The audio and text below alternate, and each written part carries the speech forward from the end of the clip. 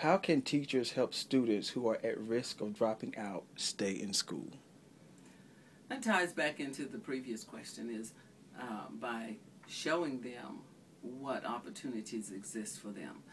Students don't really always know that they are, um, there's a plethora of choices.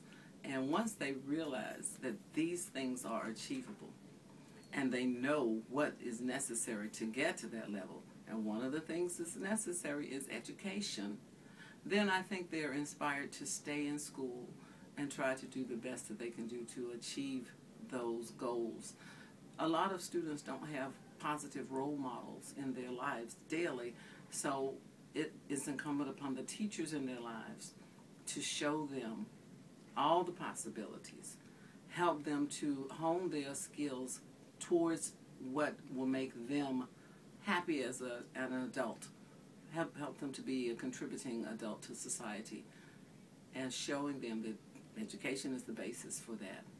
Mm-hmm. Telling them that they can do that, helping them to believe that, because a lot of times they don't even believe that. And once they believe that, see those opportunities, then they, they'll understand the importance of staying in school.